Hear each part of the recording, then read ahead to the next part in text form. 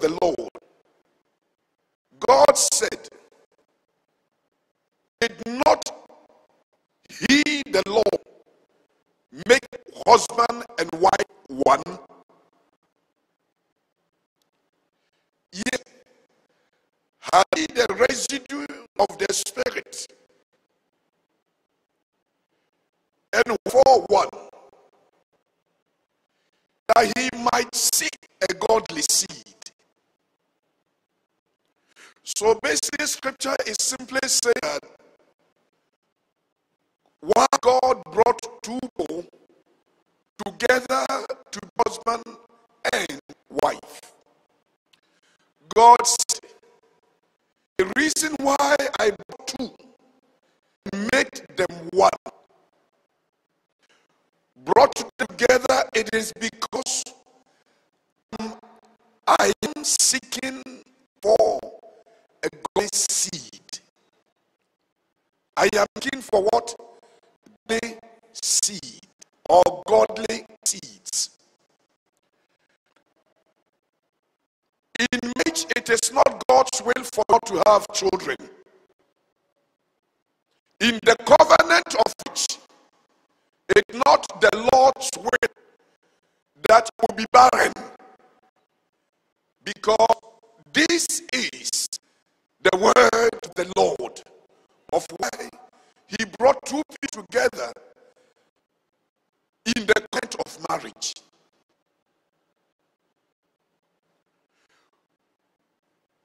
If this is the reason of which, then we're going to have to be very careful in how we deal with the gender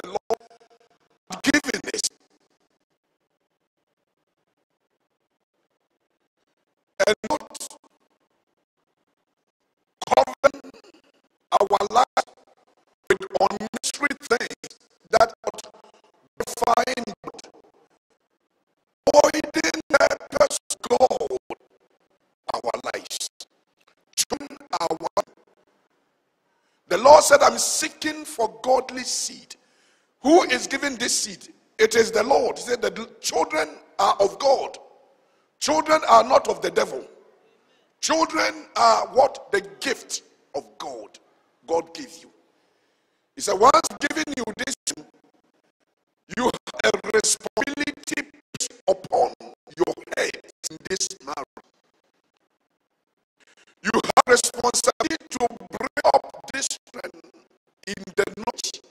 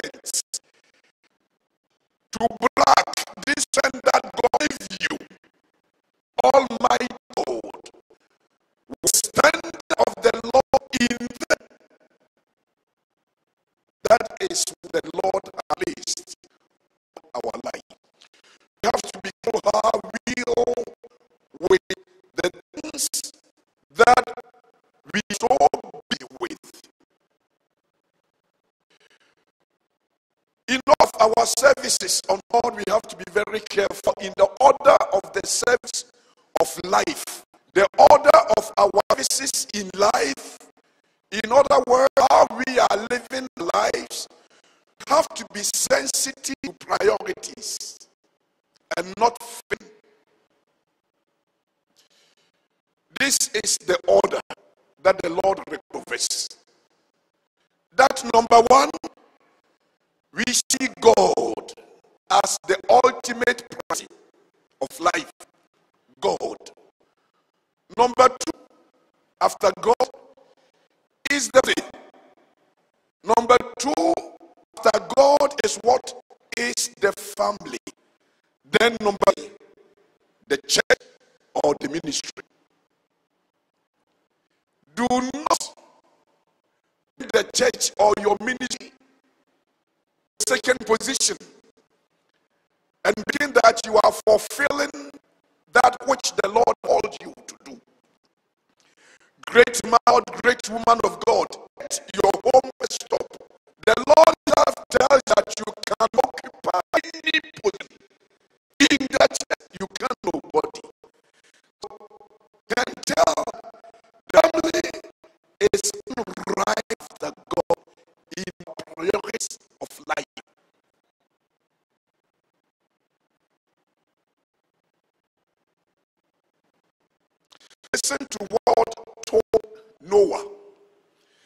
Genesis 8.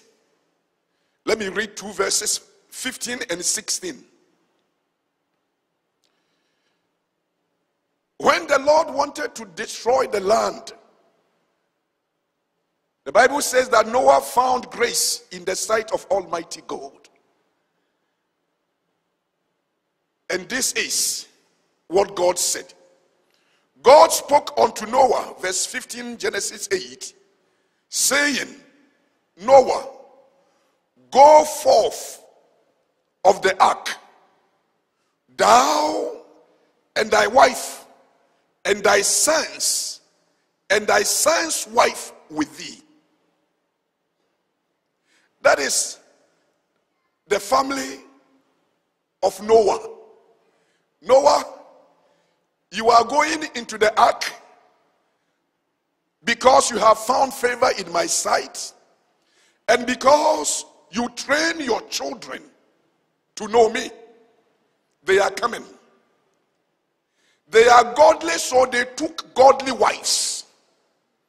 The wives are also coming. That is how the whole family was actually saved, made it to the ark.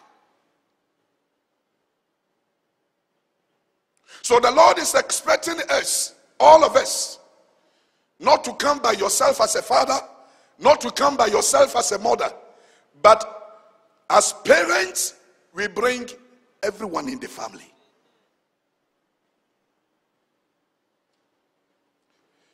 If the sons of Noah had children, the Lord would have asked them to go into.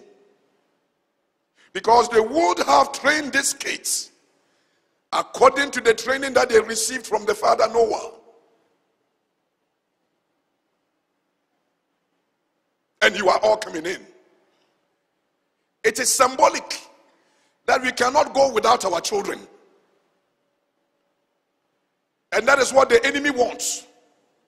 Moses, you can go and worship your God, leave the children behind.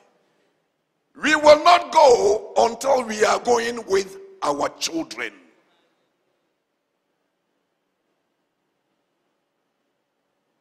If the children are not going with us, then what? The enemy knows that if he has gotten hold of the children, he had finished you. That's a fact. That is why leave the children behind. Go do whatever that you will do. He knows that you shall surely come back because of the love that we have for our children. He knows that. The Lord wants us to bring all of them in. In Genesis 25, verse 27 and 28, Genesis 25, verse 27 and 28. This is talking about a father called Isaac in his relation to his children. These boys, they grew. That was Esau and Jacob. And Esau was a Canaan hunter, a man of the field.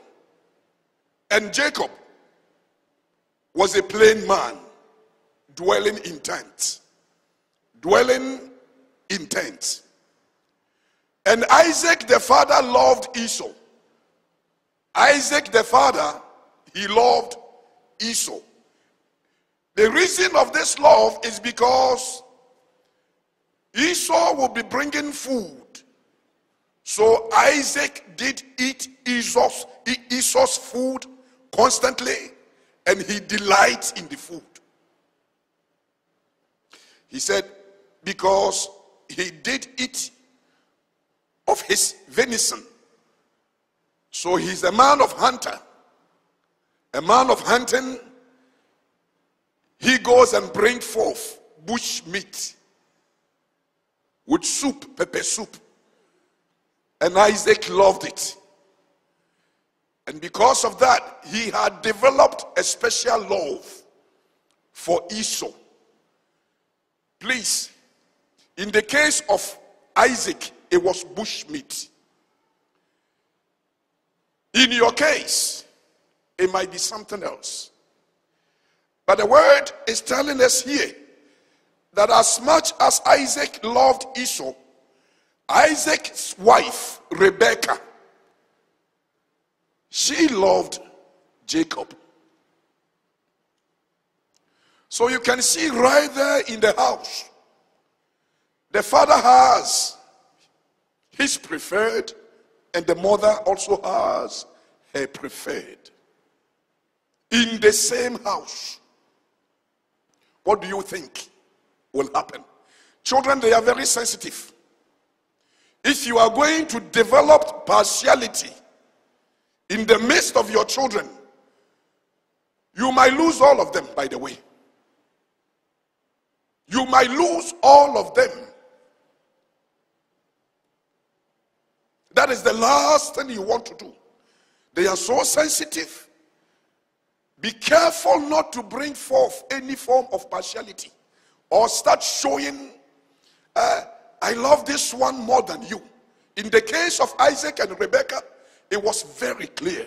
Very, very clear. Maybe one of your children is smarter than the rest of them. And you are considering the other ones that are not smart as failures. Be careful. Be very careful because there is a factor called time. And God is not stupid to be giving you children and making one smart and the others not. But it is because one might have probably academic excellencies and the other other one or others might not have but they might have something else that you do not know there is no child that is put here that God doesn't have a plan for that child. And if God had taken time to bring forth a plan for a child, you just have to know that it is good. Because He's a good God and everything that comes from Him is all good. So don't be hasty in judging and bringing forth partiality among your children. One is not coming up as fast as the others. Or maybe one is totally standing out.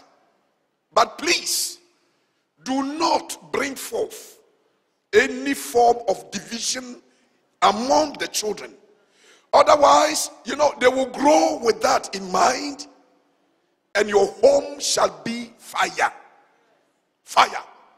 The children are not in agreement. It will catch you up at the time that you don't have the strength to control it.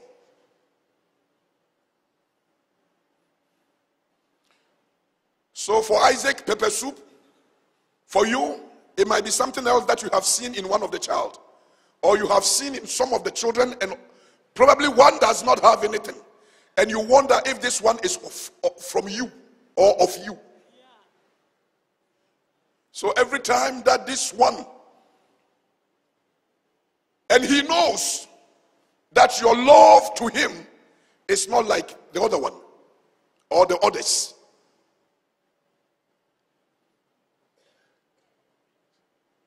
And just growing down in confidence. Growing down in confidence. Mommy doesn't love me. Daddy hates me. What do you think this child will become outside? We know what outside reserved for them.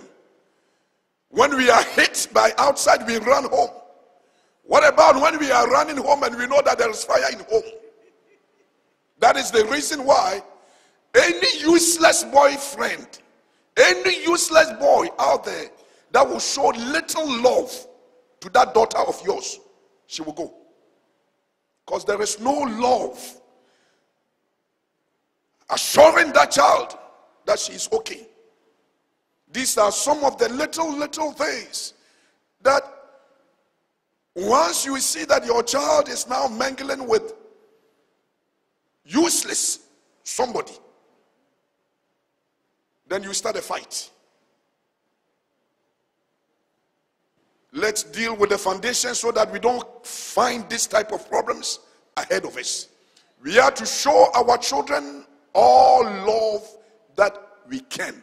Look at you standing in your home and dividing the children. If God was to look at us and be saying that you don't have this, you are not this, and the Lord is bringing forth partiality, he said, God is not partial. He regarded not man, he despised nobody. He placed all of us in the same level. Read Deuteronomy 28 from verse 12 going. You will see. He said, I am the Lord,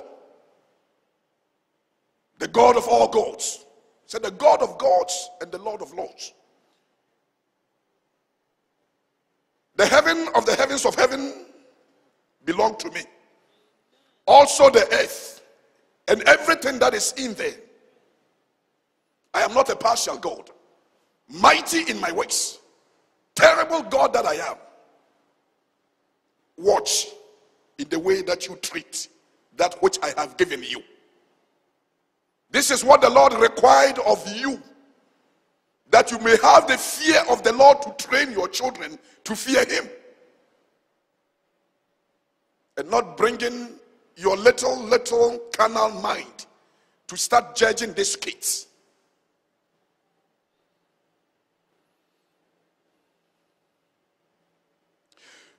Because Jacob saw something of his father Isaac. Look at when Jacob, Jacob also grew up. In Genesis 37, verse 3 to 4, we are reading that now Israel, also called Jacob, when he grew, he loved his son Joseph.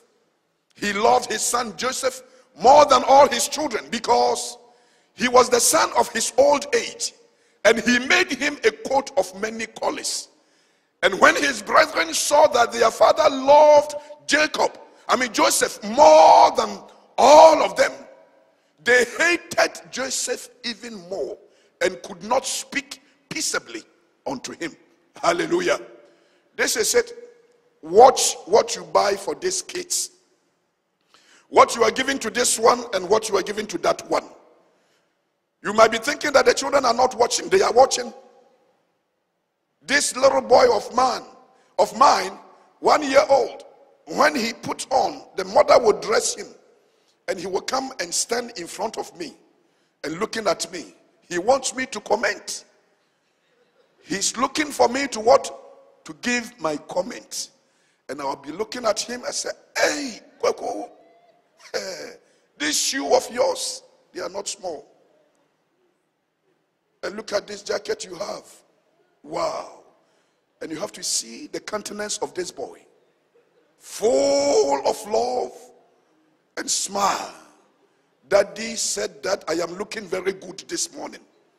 That will run in the mind of this little boy the whole day until another cloth shall be changed. These are children. If you are taking these things for granted, that you give this one, that one, and you are giving me this one. He said that Jacob loved Joseph because he had Joseph in his old age. So he made a special coat of many colors and gave it to Joseph. So when Joseph is coming, Joseph is shining, brightening among his brethren, has many colors. And the brothers are said they hated him because of that coat. You might not understand why the children are fighting among themselves. Your mind will not even be there. They might not even tell you. But among themselves, uh-huh, we know that you have, daddy had always preferred you anyway. That is a big statement. Big statement.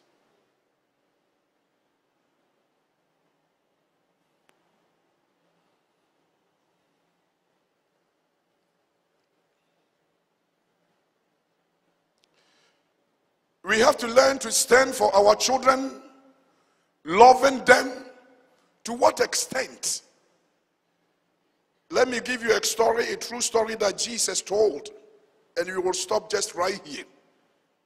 The book of Matthew, Matthew 15, the story runs from verse 21 to 28.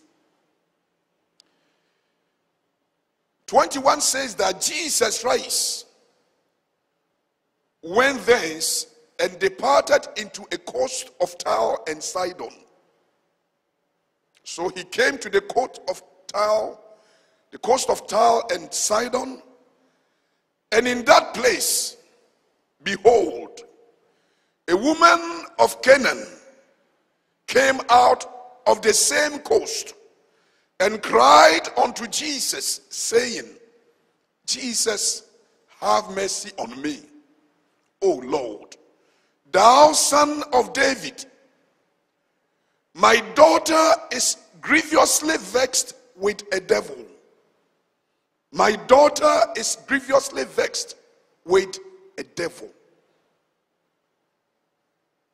So over here, you are seeing the love of a mother toward a daughter. What is this woman's problem? The woman issue is that the daughter is possessed. The daughter, the enemy had gripped the daughter. And she's running after Jesus, seeking for help. Say, Help me. Have mercy. Not myself, my daughter. So then, Jesus, hearing that in verse 23, Jesus answered her not a word. And his disciples came and besought Jesus, saying, Please, Master, send this woman away, for she cried after us. Watch what is happening here. Jesus Christ heard the woman saying, Help me, my daughter. The enemy has gotten hold of my daughter. But the Lord will not say a word, not even a single word from the mouth of Jesus Christ. This is very symbolic. That number one, we have to learn to stand for our children. We have to learn to what? To stand for our children. If you are going to have the attitude of, okay, I talked to you, I told you, and you didn't listen. So now, where you are, you are going to pay the price. It's not going to be well with you. This is not the attitude that God wants us to have towards our children. The Lord wants us to be able to come before Him when something has gone wrong, that the enemy had come in and gotten hold of your children, you have to learn how to go and cry before Almighty God. Any parent that do not know this principle, the enemy will take away your children and will finish you. Will finish you. Because after your children, he's coming after you. As much as you think you don't care of that child's life, let me tell you, it is not about the physical things that the child has done that you probably hate that child so much. But it is because you are bound by a covenant which is of God. He said he brought you together to for he seek for a godly seed. The Lord has a plan concerning this child's life. So your adonkerism physically, you will pay spiritually in the sight of Almighty God. It's a fact. It's a fact. So we have to learn. Eh, your children will always be your children as far as you are alive. If you are going to say, oh, yeah, now they are grown up. No, God does not see grown up children. Your children is what? Your children. Your children are your children. And the Lord will see, matter of fact, even we human beings, we see our children to be our children no matter how old they are. Eh? when something has gone wrong, nobody can talk to me the way that my mom would talk to me. She has your history. She has your history. Only one. She can bring you just only one history, one story of your life. And if you are smart, that one will humble you. Just one. So we have to learn to stand for them in their marriages when they are facing difficulties. Did you hear me what I said? In their marriages, we are standing for them, we are standing for their for their seed seeds. Generations to come. This is the family that the Lord has given you. If Noah had thousand grandsons and daughters, the Lord would have brought all of them in in only one condition that they are trained unto his glory. All of them. He said, Noah, you found grace, you found favor in my sight. You are coming in with your seed. The woman cried, My daughter, Lord, have mercy. Devil had entered. Devil wants to possess my daughter. Devil wants, he wants to take away my son. Help me. Jesus not saying anything. Disciples coming around and be telling Jesus, Jesus, send this woman away. You know what it means? Symbolically, it is the difficulties, the opposition that you will be encountering as you are trying to call upon the name of the Lord.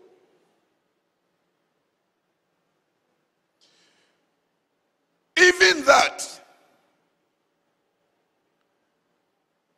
Jesus opened his mouth after the disciples telling him to send this woman away. He answered the woman and said, Woman, I am not sent but unto the lost sheep of the house of Israel. Jesus simply saying that you don't qualify for me to help you. This is when everything is standing in your face that your child is not worthy for you to redeem him or her. This is the situation that circumstances are going to work against you. Trying to. Let me give you a clear example. Let's say your child is at school and this son of yours is not doing very well. So, as much as you are trying, probably giving, you know, uh, private uh, tuition and, and studies and everything else, and uh, this boy is still not making it. Don't let that boy go. Amen. Don't. Amen. Don't. The teachers might be discouraging you. Say, oh, this one.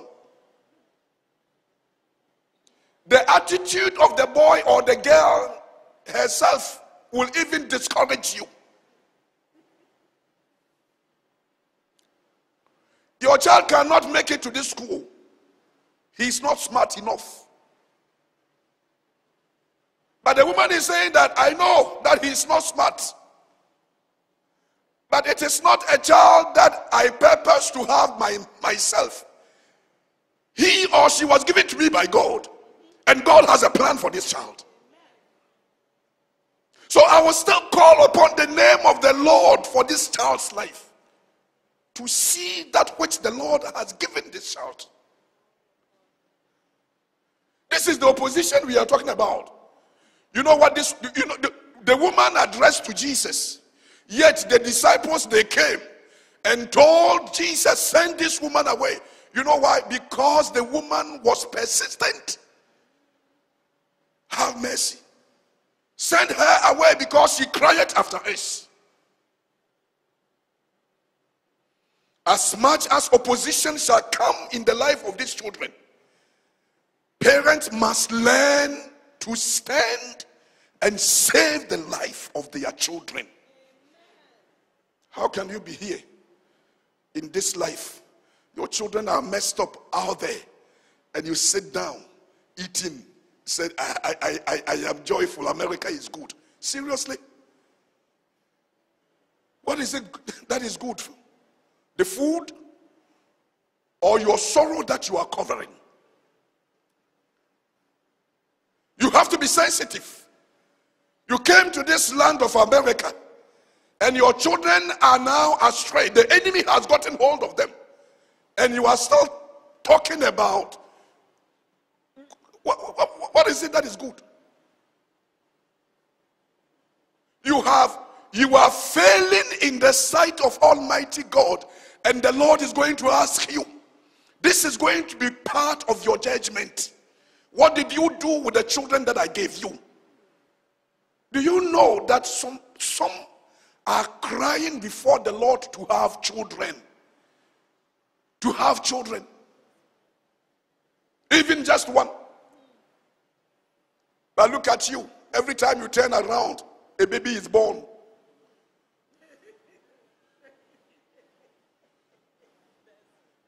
And you are standing there saying, My family, we are fertile. You better watch you and take care of these kids. Somebody is crying just to have one.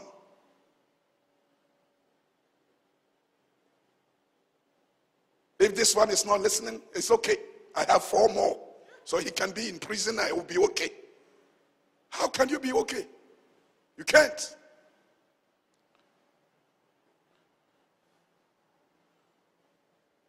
No matter what, this woman must stand and continue. Even Jesus telling her, You are not entitled to receive help for these kids. Yet, in verse 25 and 26 of Matthew 15, this is what the woman did when she heard that she's not entitled to receive help from Christ. He said, Then came the woman and worshiped Jesus, saying, Lord, help me. But Jesus answered and said, Woman, it is not meet to take the children's bread and to cast it to the dogs. Seriously? It is not meet to take children's bread and cast it to dogs. So basically, the Lord is simply saying that healing is children's bread. That is one. Number two, this woman, Jesus said, If I give you this food, this bread, it's like giving to a dog. That is the Jesus that we serve, oh, talking that way. So is the Lord insulting this woman? No, the Lord is not insulting this woman. This story here, it is there as a principle for us to learn. The Lord is, remember where this woman is coming from. The woman said, Devil has taken over my child. Said, Devil has taken over my child. Then, when the woman heard the story of dogs.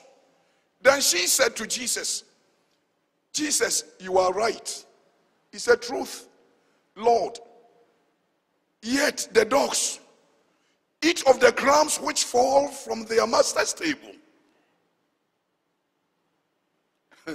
this is something else.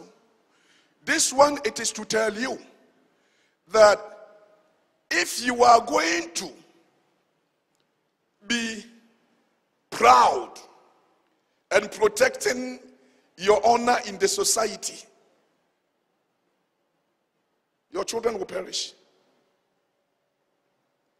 You will lose that which is precious from this marriage that you went through or from this marriage that you are in. The Lord is requiring you of bringing these kids unto Him.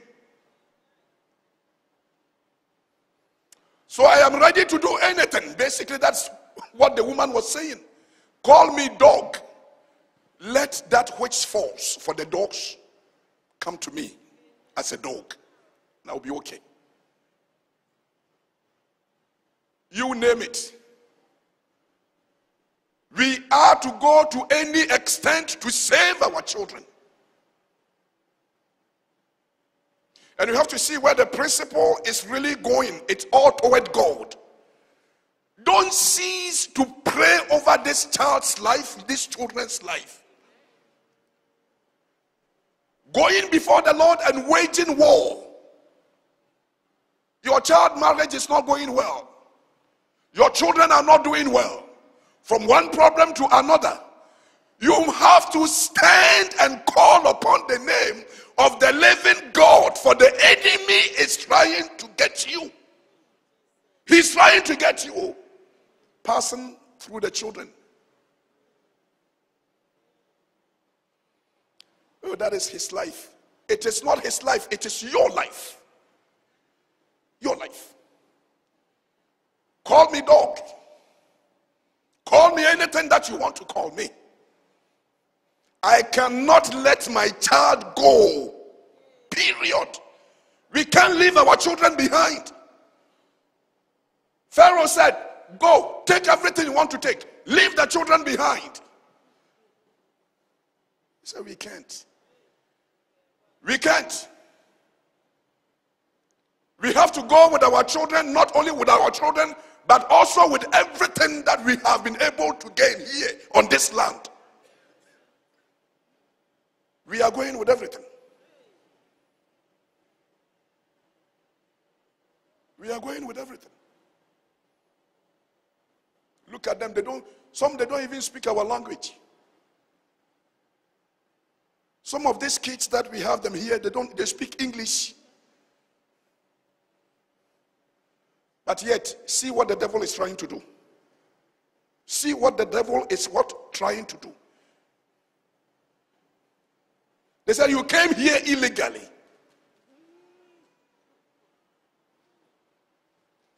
One must be sensitive, you know, to the things that are precious in the sight of Almighty God.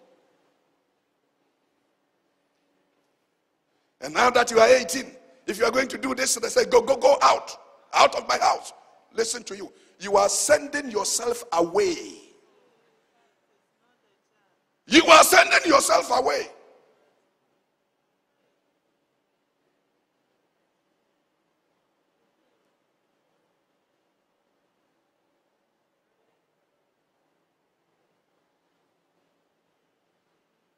The woman came and worshiped Jesus. Let me be a dog and save my child. In verse 28 of Matthew 15, he said, Then Jesus, hearing everything that this woman said, Jesus said unto her, Oh woman, great is thy faith. Great is what? Thy faith.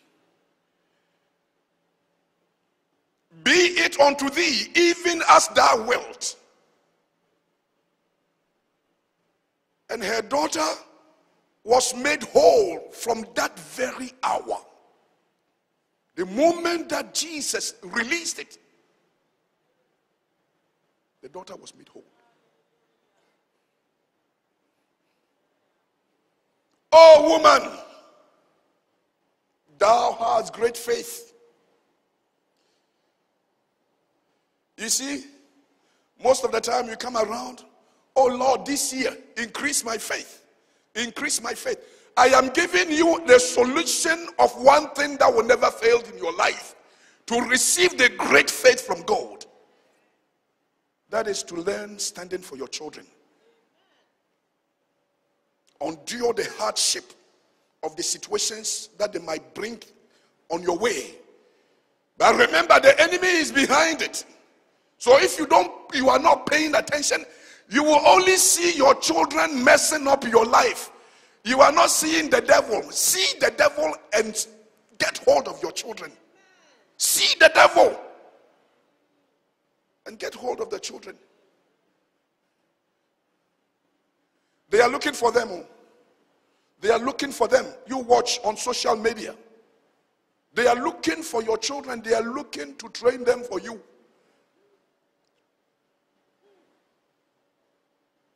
So if you are not sensitive enough and you are going to be shouting and fighting in the house. And I said, You are now 18, go. I wish God would tell you to go when you were 18. But yet, we messed up many, many, many, many ways. He keeps showing us that great love. Anyone that is not sensitive to this kingdom principle, you are only not only going to lose your children, but you will lose your life. You will lose your life. It is it's a package. When the Lord wanted to save Noah, said, You are coming in with your children. Fight over their lives. When is this going to stop? It will stop only when you die. It will stop only when you die.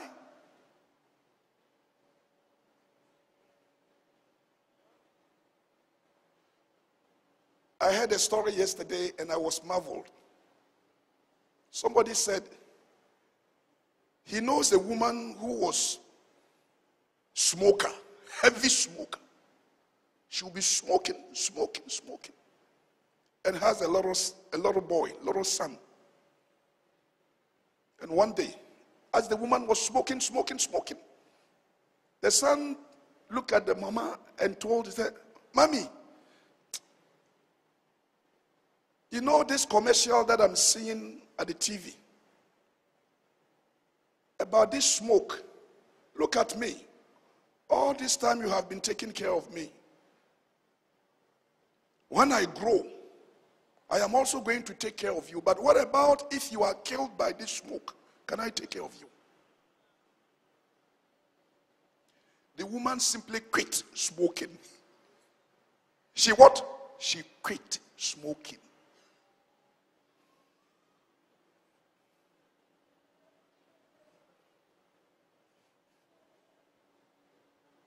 If you train these kids God's way, the responsibility is also placed upon them to love you. To love you. Just dump your parents in a nursing home and you have been torn in my flesh. Go and see back home in the village. Where we come from, we don't dump the parents. So. We don't dump them. It's even, it's, mama is still alive. Grandma is still alive. And the little ones, they enjoy. That's what life is all about.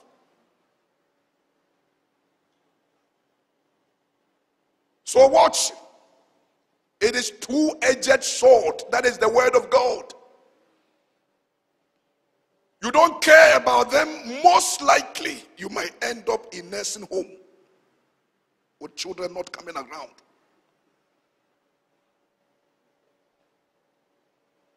So our love to our kids it has to be without any form of condition, unconditional love. It's part of the covenant. It's part of the covenant of marriage. The woman was selfless.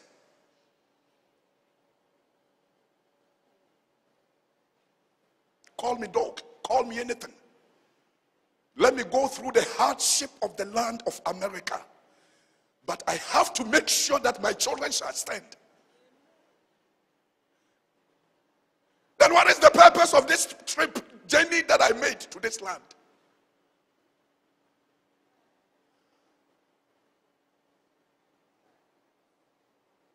What type of life do you want me to present out there? The country where I come from, they don't ask you of how many houses you have. If you are prosperous, they are looking to see your children. God is looking for the same thing. The same thing.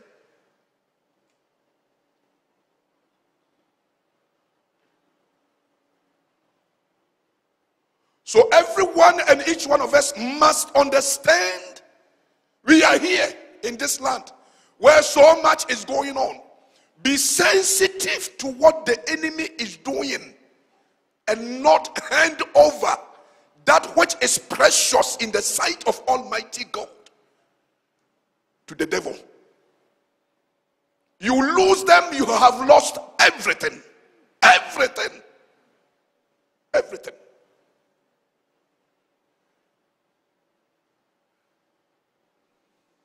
This is it. May the Lord help us. May the Lord be mighty with us. Strengthen our hearts to fulfill that which He had called us to do. God bless you.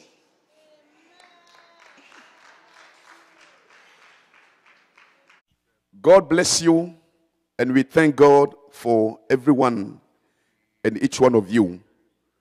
We have a message from the living God that we titled The Three Things About Faith. The Three Things About Faith. Hebrews 11 and the verse is 6, it says, Without faith, it is impossible to please God. For he that cometh to God must believe that he is, and that he is a rewarder of them that diligently seek him. Without faith, it is impossible to please God.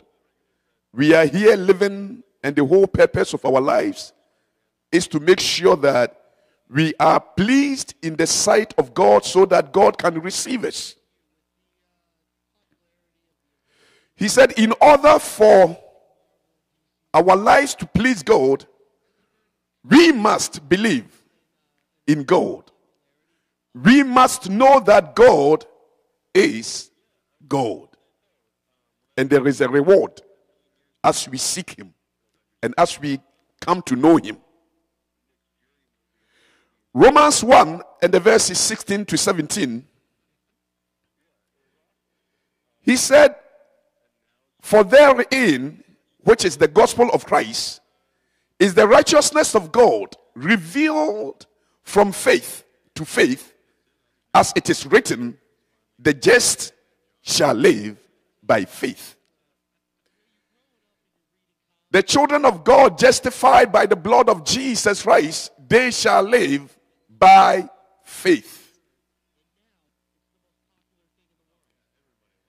And Second Corinthians 5 7, he said, For we walk by faith and not by sight. We walk by faith and not by sight.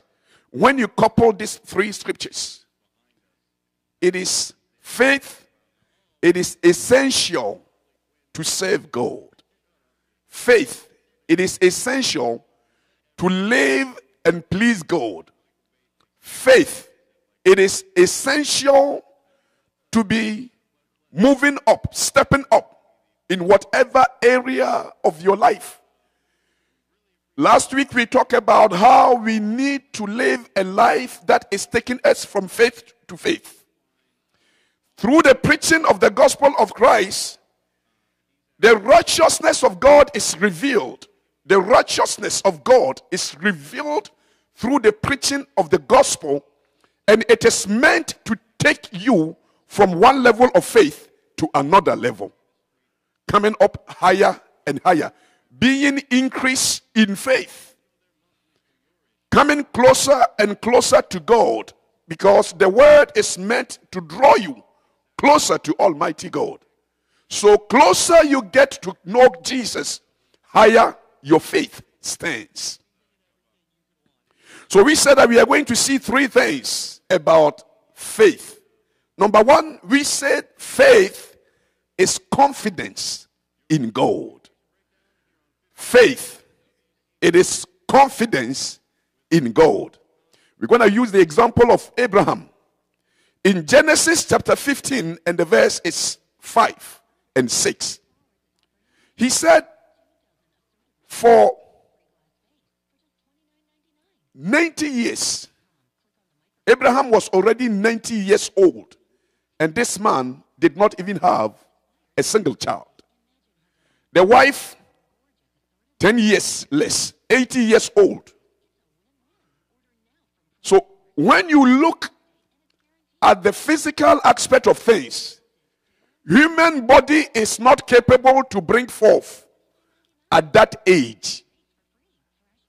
But because this man is called and he has been walking with Almighty God, putting his faith in him, a time came that the Lord brought Abraham. So, Genesis 15 5 to 6, he said, God brought Abraham forth abroad and said, Abraham, look now towards heaven and tell the stars if thou be able to number them. And Abraham said unto God, So shall thy seed be. That is what God told Abraham. Look unto these stars and see if you can number them. Abraham, I know you don't have any child at this point, but this is my word to you. As you see these stars, so shall thy seed be. Abraham heard it and he believed in the Lord, and God counted it to him for righteousness. God counted it to him for righteousness. 90 years old, 80 years woman on my side. When there was strength to conceive, nothing happened. And he was still walking with this God. But at this point, when everything has been given up, the body testifies that it is not possible but the Lord spoke a word in this man's life, and he believed. He believed. He believed. Why did he believe? Romans 4 and the verses 20 and 21. He said, Abraham staggered not at the promise of God through unbelief, but was strong in faith giving glory to God, and being fully persuaded that what he had promised, he was able also to perform. This is so wonderful. Abraham, walking with God, the Lord spoke a word, made a promise unto him. Abraham did not look unto his physical body, neither Sarah's womb. But Abraham looked unto God. He looked unto the word that proceeded out of the mouth of the living God. And he came to find out that indeed man shall not live by bread alone, but shall live by every single word that proceed out of the mouth of the living God. God has spoken. This God is able to bring forth what he said he is going to do. He didn't look onto the situations. But he was persuaded that God, who had made the promise, is able to perform that promise. He was persuaded that God, who had made the promise, was able to fulfill that promise. Which way? Because of the power, because of who God is. He that cometh to God must believe that he is, and he is a rewarder of they that diligently seeking him. They that diligently seeking him in faith. They that diligently seeking him, walking with this God in faith. Walking with this God not in unbelief, but walking with this God, believing that the word of the living God cannot and will not fail in your life. This is what the word of God. Abraham could not see anything of what is going on around him. He could only hear the word of God and know the power, trust in the power, trust in the ability, trust in his potential. Because, and he is right. God speaks. God is not a man. He told us, He said, I am not a man to lie. He doesn't lie. He does not see the way that man sees. He does not, he sees the spirit, the heart of a man. That is what Almighty God sees. So man cannot see the way that God sees. Therefore, it would take the spirit of God in a man to come up higher to believe in this spirit, which is the Holy Ghost that has spoken into his life, and know that indeed I have to know that is God that have spoken and not the word of a man.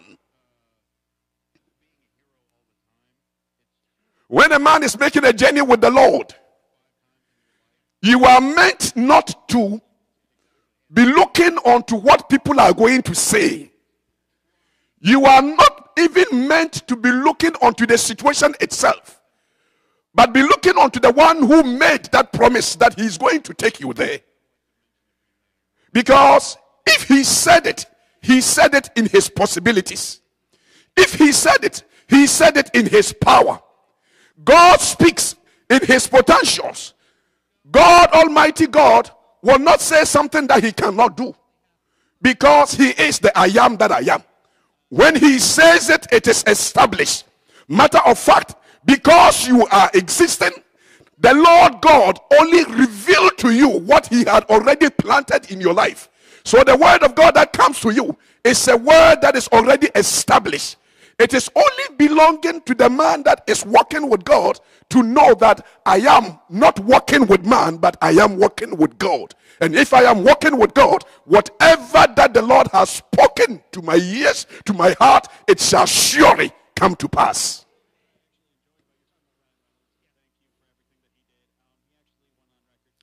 So in Hebrews 6 and the verses 4, 15, he said, So after Abraham, Abraham had patiently endured, he obtained the promise. After Abraham had patiently endured, he obtained the promise. So you can see that it's not just believing, it's not just faith. Faith has to be coupled with endurance, faith has to be coupled with patience. And then you will definitely see the promise of the Lord being established in your life. Very important. Endurance. It means that something is going to shake the word that God has given you. Endurance. It means that something is going to come as a tribulation in the environment. But you still have to see God. Patiently, in meaning that you're going to be seeing others running faster than you. You still have to wait upon the living God. Endurance and patience. You will be tormented, you will be afflicted, you will be going through tough times. Jesus Christ in John 16:33 he said, "In me you will have peace, but in the world ye shall have tribulation." Tribulations are part of the promises of Almighty God to bring forth that that the Lord is going to do in your life. Jesus said it that in the world you will have tribulation. It's a word of God. It's a word of God. But the Lord said that if I have spoken it, it shall surely come to pass. If I have spoken it, it shall surely come to pass. So the only one that can, you know, stop the word of the living God being performed in your life is yourself. It is yourself. What you don't want, God will not do it for you. What you don't want, God will not do it for you. But if God has spoken that word in your life and it has come to be settled as the word of God, not the word of man, the word of man, anything can blow it out. But if it's the word of God, God watches over his word to see it being performed. He watches over his word. He watches over his word. He watches over the word to, you know, in power, in grace, no matter what they will do, as far as you continue looking unto Jesus as the author and the finisher of that faith. You see that? That Hebrews 12 2 that we read. He said, looking unto Jesus, the author and the finisher of your faith. So the author of the word of promise and the finisher to bring to, to, to bring to be established and to bring to be performance The word of promise. That is him. Uh, there is a scripture, you know, Second Corinthians 5 24. He said that faithful is he who called you, he also will do it. Faithful is he who called you. So the one who made you to make the step, he's the one that is also going to take you through all this. Abraham endured the situation. The Lord's promise has come. You're going to face persecutions. You're going to face trials. You're going to go through tough times. But it is your faith has to be coupled with endurance and patience and setting your eyes. Not, you know, disturbance and distraction are not allowed when you want to see the plan and the purpose and the promise of God to come to be established in your life. The enemy will fight you from every corner, and anything is allowed to be used. Jesus, we said it, that he said, in this world, you will have tribulation. But the tribulation is not going to overshadow your life. Tribulations are not going to overcome you in only one condition that you stay in Christ. In me, you will have peace. Storm will be going around you, all around. 10,000 is falling here, 1,000 is falling there, but thy dwelling, which is in Christ, is not being shaken. When people are saying that it is tough, things now there is a casting down, you shall say there is a lifting up. There is a lifting up. Why? Because we are not dwelling in the same place. We are not dwelling in the same place. So it will come what is killing others. When it comes to you, it is only going to strengthen you. What is not people, no, what are, are making people giving up when it comes to you because of faith, endurance, and patience. And patience, you will definitely see it to come to pass. Thank you, Lord. So, in Second Corinthians, chapter 1 and the verses 20. The word of God says, He said, All the promises of God in Christ Jesus are yea. Yea meaning yes. All the promises of God in Christ Jesus, they are all yes. They are all yes. And in Him, Amen. Amen meaning it will be so. It will be so. So, this unto the glory of God by us. I love that one. Unto the glory of God by us. The promise that God made to you that He will bring you to that expected end. The Lord wants to see you at that expected end for Him to take glory. I have already been saying that God delights seeing His children being prospered. God delights seeing His children doing well. God is not a wicked God to see you going through, you know, situations that are crushing you and standing there and taking joy. No, the Lord said that, yes, situations that could crush you will come on your way. But I, the Lord, I am with you. When you are going through waters, I will be with you. When you are going through fire, I will be with you. I, the Lord, I will take you out of the hand of the enemy and you will step over their necks. And what I said I'm going to do with you, you shall surely live in only one condition, believing in me and see it coming to pass. Unless you don't want it. But God delights to see us fulfilling what He wants for us and to take His glory. And to take His glory. So, the word of the living God, all the promises in Jesus, they are yea and amen. It is yes, which is already signed by heaven. Heaven is giving you that check but a check that is given by heaven. If through faith you have to turn that check, the back of the check, and sign it and say, Amen, it shall surely come to pass. So shall it be. That is faith. Heaven will never reject any check that is signed by Jesus Christ. And your situation can never be the same. It is impossible. Why? God is he said, He, he is the word. And the word, it is settled. Nobody shakes God. Said, I am that I am. What is your name? I am tell them that my name is I am that I am. Go and define it. Go and tell. Try and trace the, the, the, the, the, the, the, the, the family tree. I am that I am.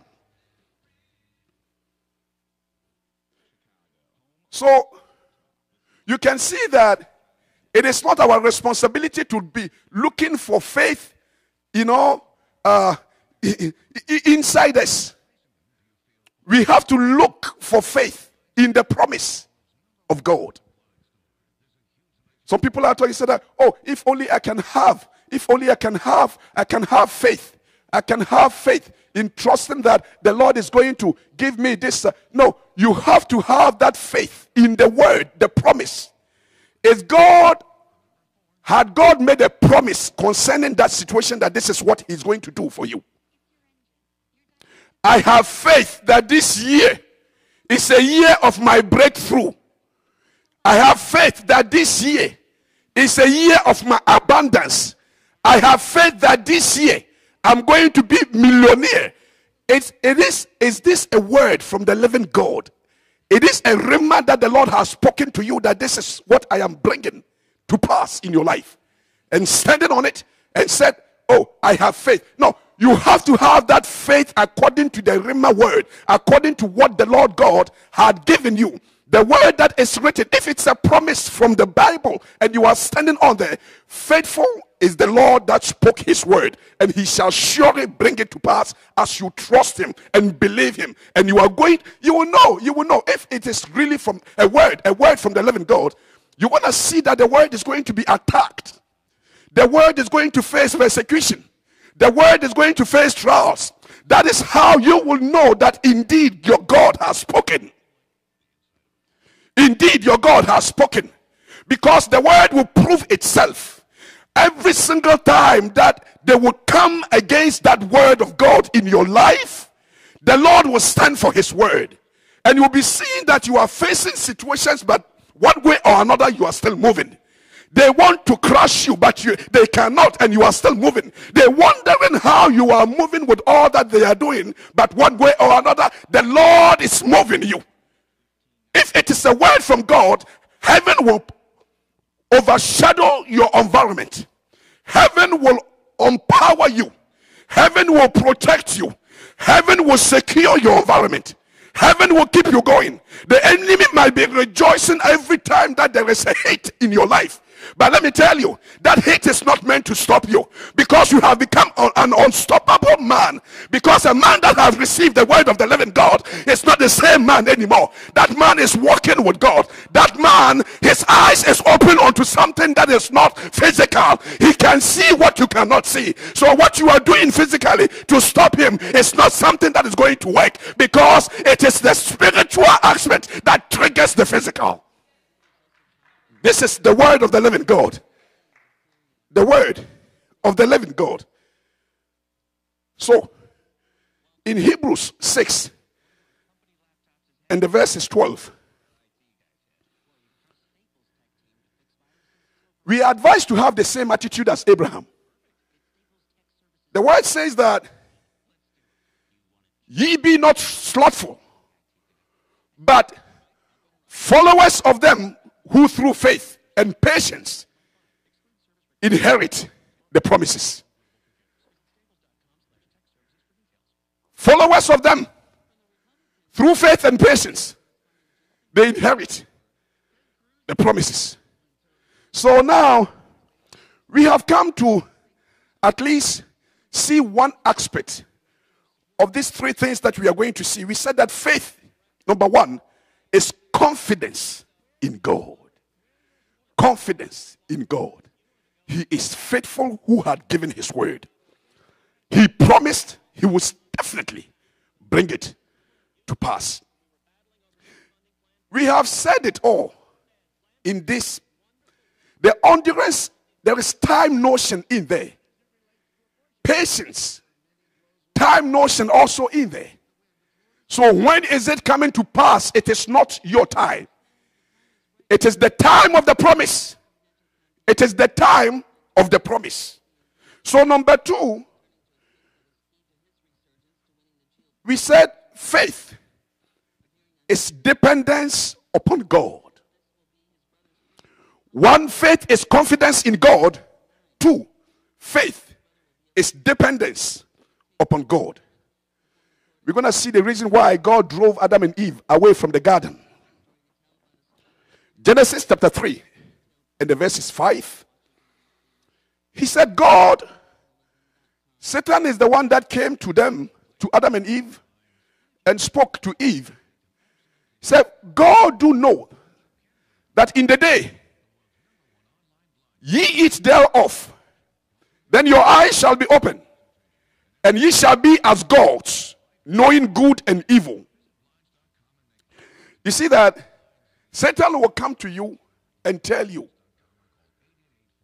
if only you can come to find out, you can come to knowledge, then you will be like God.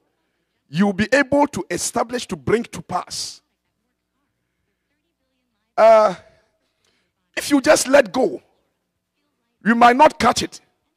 But here, why is it that the moment that they heard, Adam and Eve heard, that they are going to be like God, then they were caught into the devil's trick and they sin against their God. Simply because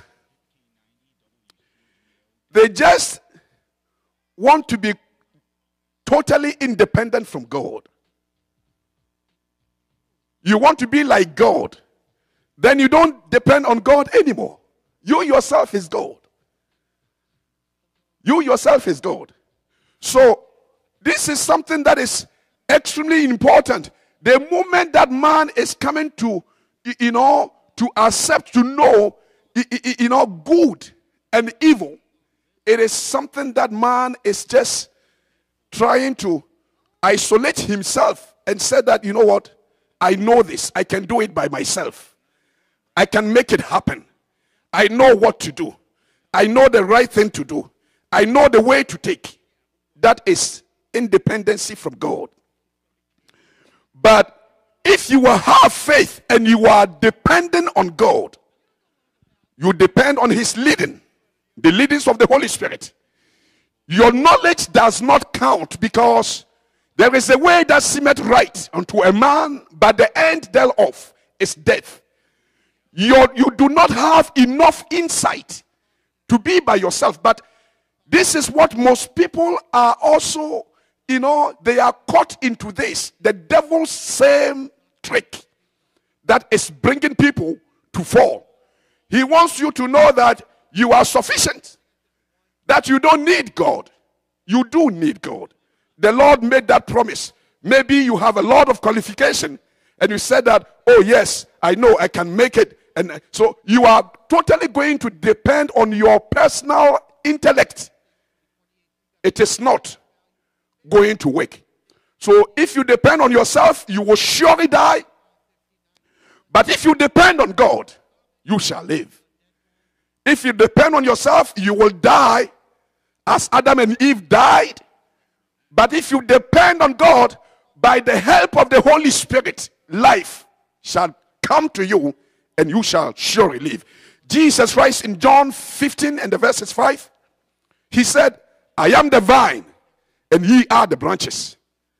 He that abideth in me, and I in him, the same bringeth forth much fruit. For without me, ye can do nothing. Without me, ye can do nothing. It is important for a child of God to recognize his position of strength. It is important for a child of God to recognize his position of resource. It is important so that you don't move out of your position of strength for the enemy to get you. Jesus said, Without me, you can do nothing. You are not even by yourself. You come to be part of this body, you are just a branch that must also supply. But the branch that is receiving its nourishment from the vine. So Christ will supply your needs according to his riches in glory.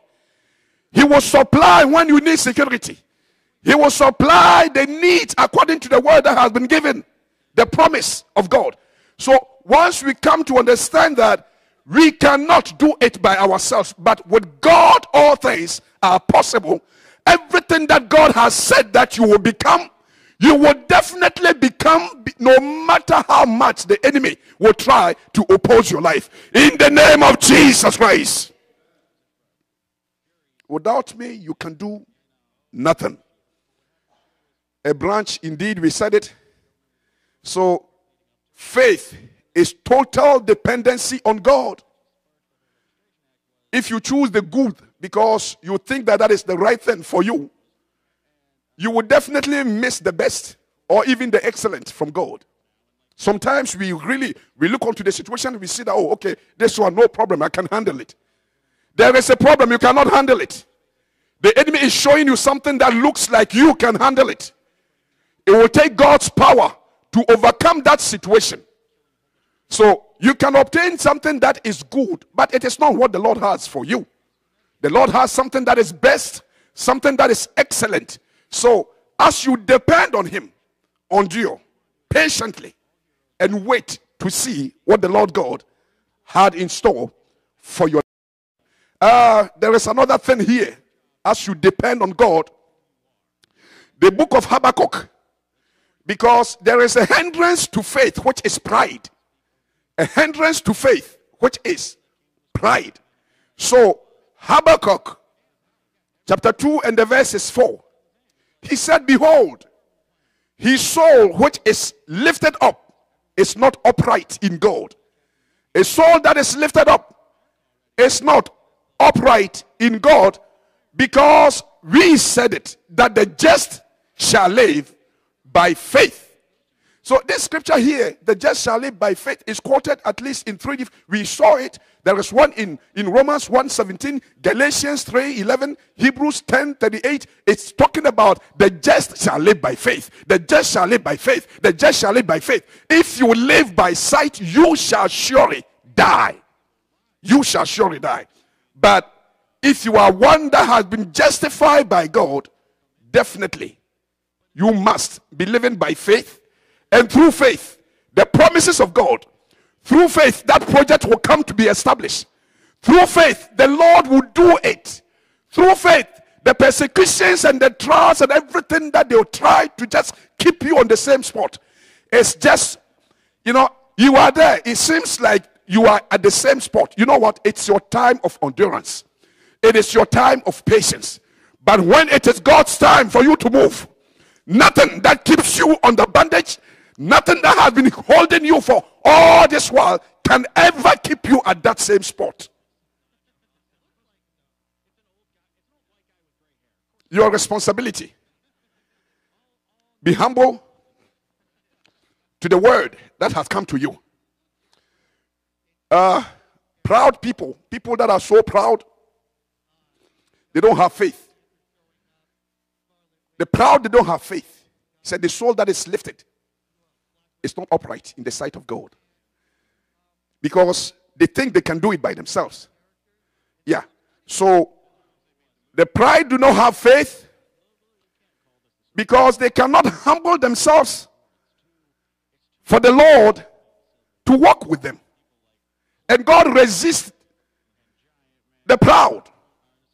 Automatically, there is no way that the word of the living God can be performed in your life because you are not in line with the word. You are above the word.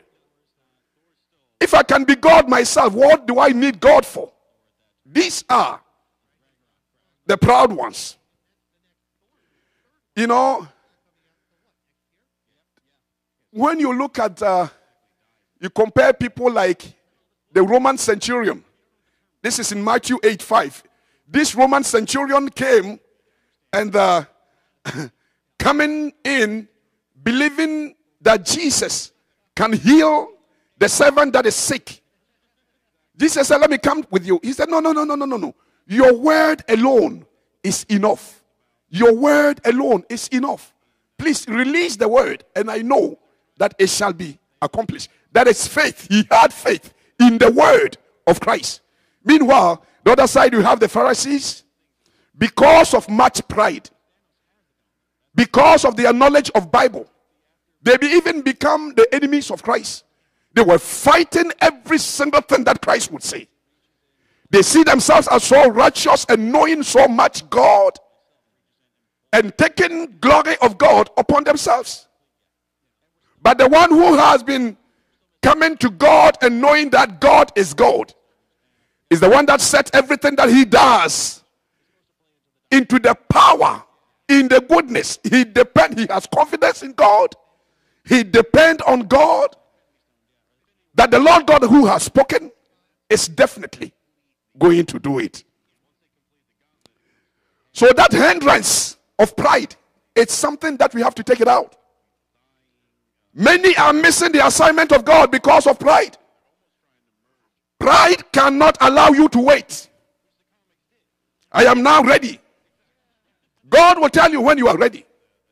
When you have gone through this, uh, these situations of trials and all that, how can I, me, myself, how can I be waiting that long and how can I be going through this, this, this, this, this things?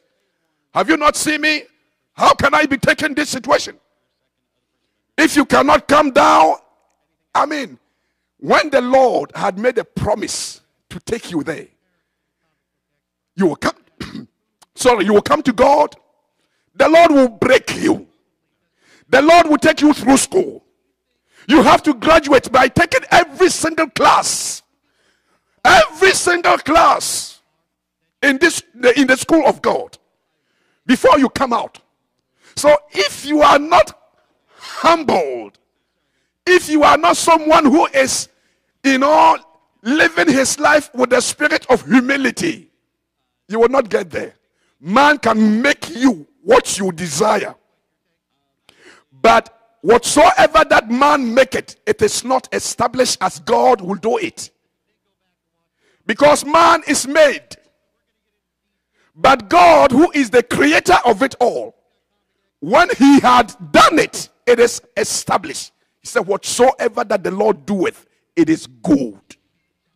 It is good. So, the humility aspect of it is essential. Your achievement cannot bring you to a, a, a, level that God cannot use you anymore. He takes you from one degree of glory to another, one degree of faith to another. So if you are proud, huh? I used to have a, a PhD in my country. How can I be coming to America and be driving taxi? How can I be coming to America and be driving taxi? So that your wife is just working herself out. She's going out of strength. When you cross your leg sitting down at home, when she's at work so much, and you cross your leg, you come down to just dressing and moving around with your PhD that is not helping nobody. The Lord wants to use you. You are in a new place now. You are in America. Your PhD, maybe God wants to take you higher. You receive a PhD from your country. Now you are going to receive a PhD from the PhD countries. A higher level that the Lord wants to take you. But you are not ready to humble yourself. Nobody comes to America here. If you are a medical doctor in your country, you come here, you have to go through their courses and pass the board. But if they, they, they are starting you, they say, We want to see your level of English. They say, Ah, how can they give me the ESL type of English? These people are insulting me. Hey, please don't be chatting. Just go. Go. Accept the fact. Go through it and pass it. Then you are ready for the next step. But if you are sitting down there and said, Oh, taxi is not my thing, how can I come in America and start with a taxi? The people that are driving the taxi, you are not higher than them. It is just in your mind. Somebody is greater than you, and he's still using that mean because why? The Lord is taking him through his school. The next thing you know, as you have been sitting and sitting and sitting and sitting, yeah, yes, you're, you're, you're, you, you are glued to the chair. Your life is not moving forth. Complaining and complaining. You are going to kill somebody's daughter. Thank you, Lord. Pride. Let's talk about the last one, which is faith brings obedience to God. Number one, faith is confidence in God. Faith is dependence upon God.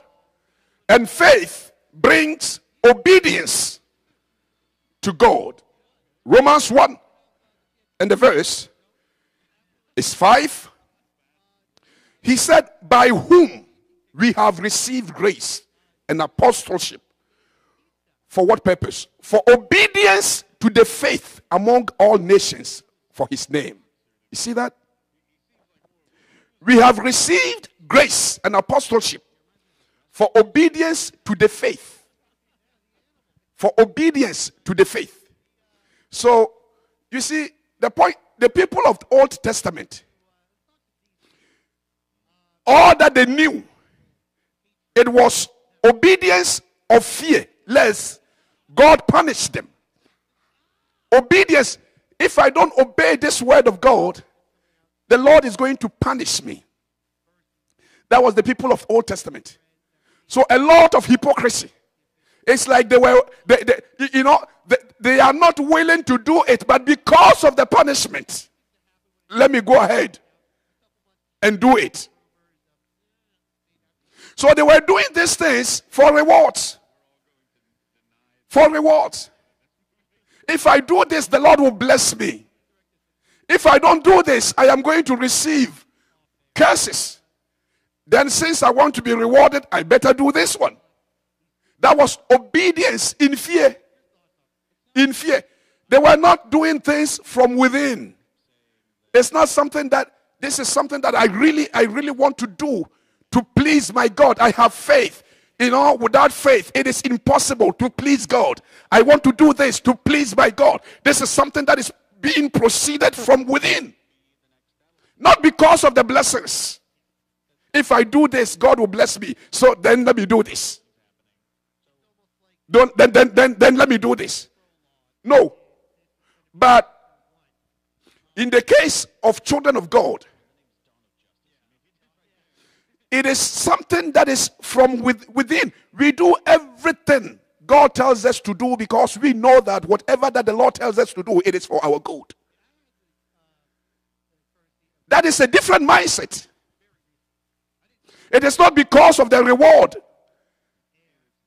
But I do know that the word of God is meant for my good. I come to God in faith because I know that God is God. And knowing God as my father, not the policeman as the people of the Old Testament knew him, but my father, who is, you know, had planned it all unto my good. So, whatever that I do, or whatever that he tells me to do, that I do, I am not doing this in the fear of what he's going to do to me if I don't do it. But I am doing this, you know, in the reverential fear, the fear that a child should have for his father, in the sense that whatsoever that daddy tells me to do, it is going to turn to my own good. Even if it might seem like something that is not, you know, uh, uh, uh, obvious. You might see it as something that is that is just why the Lord asked me to do such a thing. It doesn't seem like there is a benefit coming to me in this thing. Believe me, God who spoke it, He knows what He is doing. What He puts you in there, it is for you to be doing it, and the Lord is shutting the mouth of your enemies. When they will see you going through that situation, they said, We have finished him. They don't know that these are the stepping stones for you to come up higher a group of people decided that this time we are going to kill this donkey that has been causing us a lot of problems. And they dig a hole and they put the donkey in there and they started shoveling dust to cover, bury the donkey. And every time that they would throw the dust, the soil into the donkey in the pit. The donkey would shake himself and step up. And they continue. More, he will be shaken and step up. More, he will be shaken and step up. So as they continue feeling, thinking that they are burying the donkey, the next thing they knew is that the donkey was already up and said, Hey, bye bye. So, whatever that the enemy is doing by the time that they were throwing the dirt on you and all that, God said, Don't worry, just shake yourself. My son, don't worry, just shake yourself. Take it easy. Don't pay attention to them. Don't play their gossip. Don't do this. Don't uh, my, my, my follow, follow me, follow me, follow me. I cannot put you to shame. And the Lord is strengthening you. And you keep coming. And we are preaching the word. Say God will protect you. The resources of the Lord, they are here and amen. Promises of God, they are here and amen. God who spoke to you, it shall surely come to pass. We continue giving you that word of encouragement. No matter how long it takes you shall surely come out unto the fulfillment of the living God's word in the name of Jesus Christ. It will come to pass. It will come to pass. Whatever that God tells me to do, it is for my good. Second Corinthians chapter 2 and the verses 10 and 11. Sometimes the enemy just want us to be remaining in the pit by throwing so much dust on us. And we are caught into their craftiness. So he said, To whom ye forgive anything, I forgive also. For if I forgave anything, to whom I forgave it, for your sakes forgave I it in the person of Christ. Hallelujah. Now you watch this scripture. What the enemy wants you to do is that when some, someone has done something to you, that you keep it in your heart. What you have done to me, I will never forget it. And I will never forgive you. You know what it means? Satan wants he wants you to stand at the same spot. Because according to this word, he said, if you forgive someone, I the Lord also forgive you. You forget. So if you are holding something against somebody who is under bandage, you. If someone has done something wrong to you and you free the person, you see, who is moving forth? You. So God said it. He said, As you do it unto them, remember, it is something that is bouncing to your own account. Release them. They came to Jesus. They said, Jesus, this woman has committed fornication. According to the law of Moses, this woman, she must be stoned. What do you say? The Lord started writing on the ground. Say, Jesus, how I, why are you writing on the ground? There is already a written word from Moses.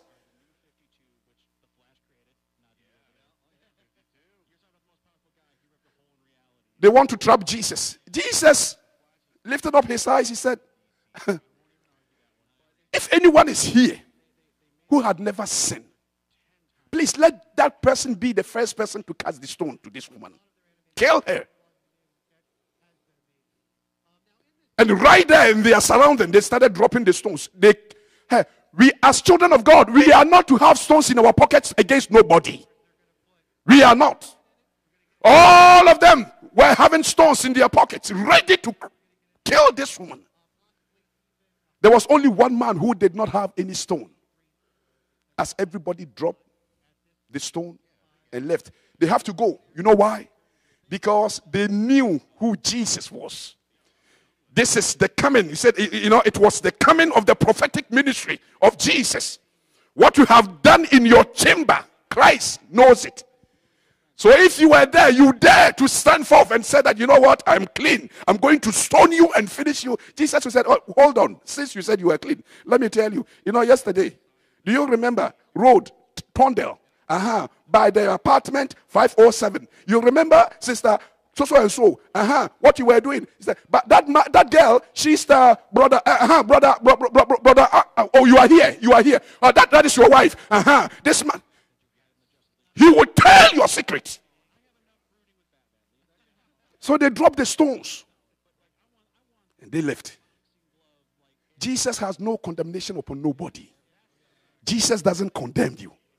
The heart that is, has come into repentance, no matter what you have done, if you only decide that this time, I'm just going to look unto Jesus Christ, the Lord who has no stone against my life, the Lord who will not, you know, bring any form of shame, God who had a promise, whatever that the enemy has done to my life, it doesn't matter anymore because now the word of the living God, the word of promise has come to me. Salvation has come to my door. I am going to open this Jesus and I'm accepting him as my Lord and my Savior. And whatsoever that the Lord has spoken over my life, whatever that the enemy has done, it is over now. I am now heading to the direction of Christ.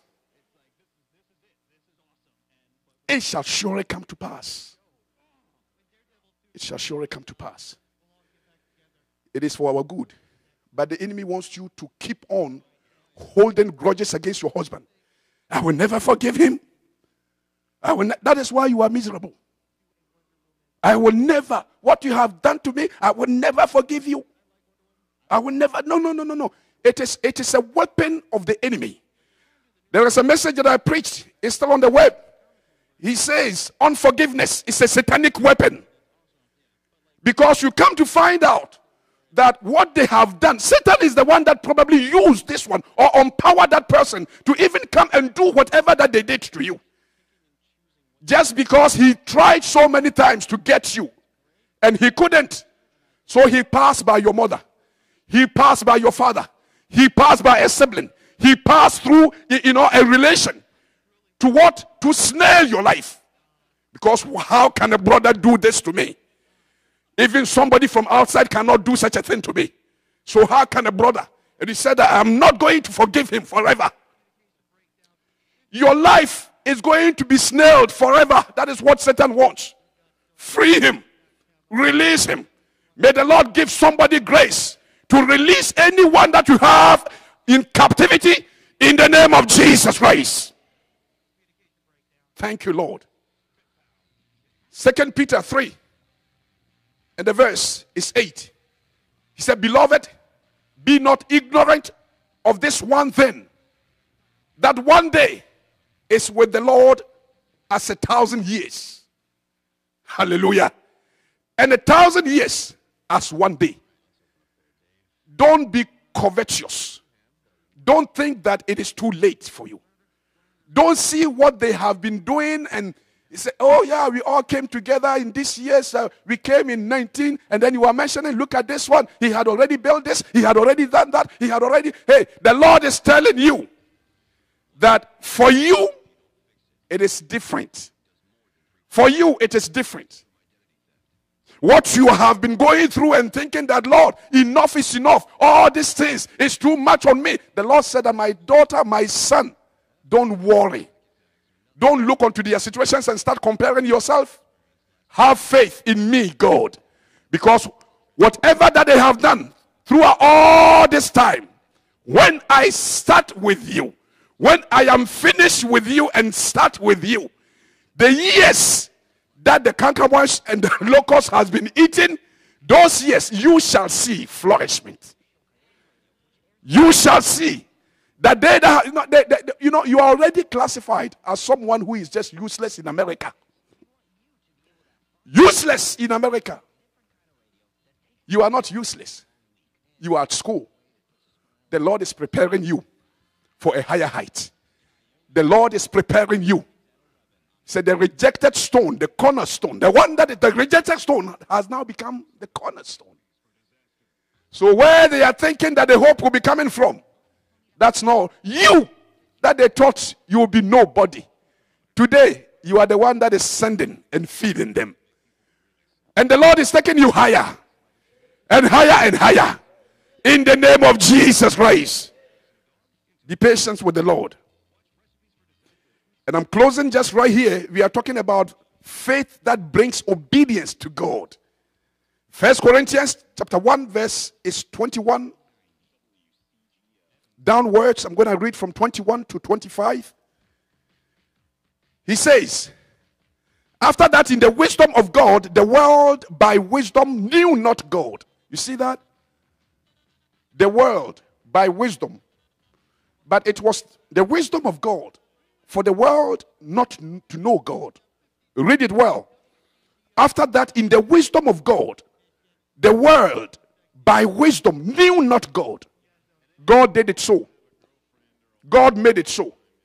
He said, It pleased God by the foolishness of the preaching to save them that believe. It pleased God by the foolishness. When the word of God came to you, the word of promise came to you, it seems like it is foolish. Oh God, look at me. 90 years man, Abraham, to bring forth not even a child. But you are saying I should count the stars, that I'm going to have that money? Everything around me, I mean, what I mean, be, be realistic. I know you are God, but this one is just like.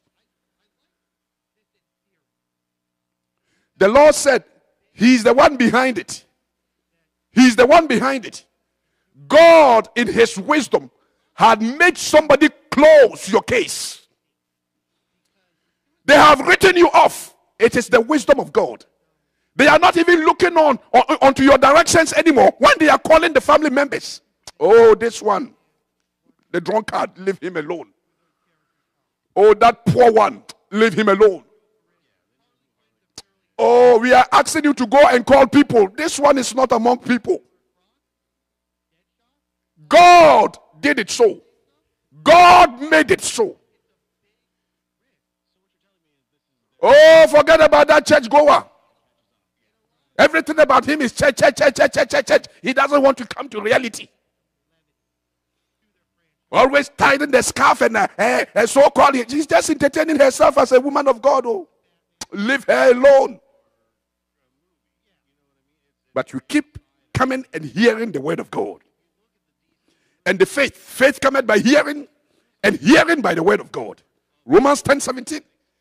And you are being increased in faith and as you are being increased in faith, your God is working you. The Lord is working you out. And gradually, from faith, you are being led to glory. From glory to glory. Unto the living God's purpose. Foolish things, God will make them think something that is not right in your sight. So if you don't pay attention, something that your God is doing to promote you, you are just going to stand uh-huh. I thought you were my mother. I thought you were my mother. How can you do this to me? No. Let them continue. Let them continue throwing the dust on you. Let them continue afflicting you. Let them believe whatever that they want to believe. But you continue believing in, on your Jesus. Continue walking with Christ. It's just matter of time. And we thank God. God himself is time. Mm. So he said that this wisdom for the Jews, I'm reading First Corinthians 1 22. For the Jews, they required a sign. They want to see. And the Greeks, they seek after wisdom. Uh-huh. They seek after wisdom. But we preach crucified. Say so we preach Christ crucified. Unto the Jews, a stumbling block and unto the Greeks foolishness. So you can see the, the, the, you know the Jews they are looking for signs. We have many that are living their lives today looking for signs. Looking for signs. So if they can see you that oh okay uh-huh, this is the type of car he's driving. I mean, he's driving, and this is uh, what he, he has. Oh, okay, now, yeah, when we have the family meeting, call him. But if they see you that you're always coming uh, walking and probably you have not even changed clothes for a while. You have been washing them, but you have not changed them. You wait at home until the cloth is dry before you go. Oh, forget about him.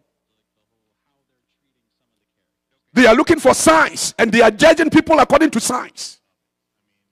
If they cannot identify their expectations in you, you are not counted as someone that is worthy. But And the ones that are also, you know, seeking for the wisdom, he said unto the Greek, these things are stumbling blocks. They, they, they stumble at it, at it. They stumble at it because they look at it, they said, oh no, it doesn't make sense. It doesn't make sense. Could you possibly believe that at the time that God called Noah to build the ark, and God spoke to Noah, Noah, build this ark. I am going to destroy the world. I'm going to destroy everything. Noah preached for 120 years, telling people, Amend your ways. God is going to destroy this land. God is going to destroy this. They said, We are in the pretty much in the desert here. What are you talking about? So you see Noah with his family carrying wood, carrying, making the ark. People will be seeing them. They said, What a foolish man. Have you seen the madman over there who is building the ark? It has become, the promise has become a stumbling block. Noah, his, his actions, obeying the word of the living God, had become some. So the signs that they want to see, you are, he has gone mental. He has gone mental. But the time, the time will prove itself. But when the time of the living God is yet, when the promise has come to fulfillment, God said, Go in there, close the ark, don't open the window. I'm very sure that that time people were trusting in their houses. So they went to the top of the house and the water got there. Some were trusting in the big tree. They went on top of the trees, the water got there. Whatsoever that you be trusting in, it is going to fail. It is only in the word of the living God that would definitely bring someone onto expectation. In the mighty name of Jesus Christ. You'll be facing all this, but we preach Christ crucified. We preach Christ crucified. So, unto them which are called, both Jews and Greeks, Christ, the power of God and the wisdom of Almighty God. Because the foolishness of God is wiser than men, and the weakness of God is stronger than men. Unto you that is called, unto you that is called, the Christ that is being preached, it is your moment of salvation. It is your moment of fulfillment. The promises of God, they are yea and amen in Christ Jesus. As far as you remain in Christ, and continue believing in the word of the living God, everything that God said He's bringing to pass, it shall surely come to pass unto His glory. May the Lord bless you. In Jesus' name, amen. God bless you and bless you and bless you and bless you. Everyone is very welcome, and we thank God for your life. Day that we titled From Strength to Strength from strength to strength.